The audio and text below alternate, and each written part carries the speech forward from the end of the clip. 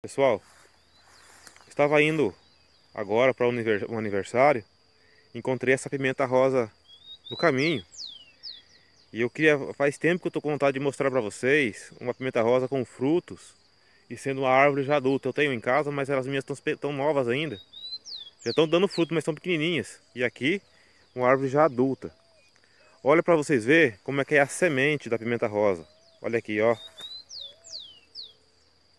Ó, ó a brotação nova, é, é bronzeada a brotação nova. Olha lá os cachinhos de flores ainda, ó. Isso aqui são as flores. Vai abrir as flores dela. Depois vai dar essas sementinhas lindas aqui, ó. Essas sementes aqui, elas são são condimentos caros, é, é uma beleza aí para alimentação. Olha o tamanho dela.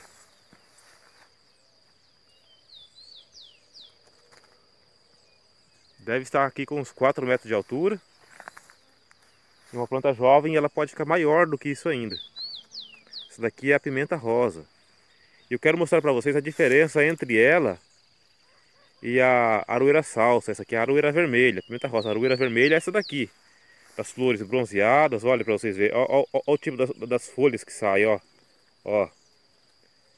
Fácil de ser reconhecida. Os frutinhos vermelhinhos. Olha aí.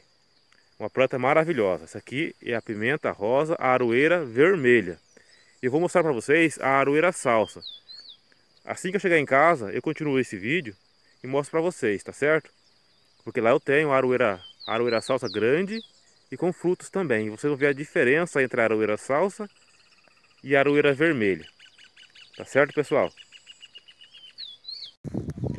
Essa daqui é a aroeira mansa, a aroeira salsa. Olha como é que é a, as folhinhas dela, ó. Ela dá parecida com um chorão. E ela tem um cheiro bem gostoso, um cheiro parecido com manga espada, um cheirinho de manga, as folhas dela. Ela tem um tipo um látex, uma, um, um node na, quando você quebra uma folhinha dela. É uma planta maravilhosa. Ela é, é ornamental, ela se usa muito nas calçadas para fazer sombra, dá uma sombra bem boa. E eu vou mostrar para vocês agora os frutos da aroeira salsa, aroeira mansa. É uma planta bem bonita também e é muito medicinal. Para vocês verem a diferença da aroeira salsa e aroeira mansa. Vamos ver agora os frutos da aroeira salsa. Olha, aqui é os frutos da aroeira, da aroeira salsa, da aroeira mansa. Olha para vocês verem. Ó.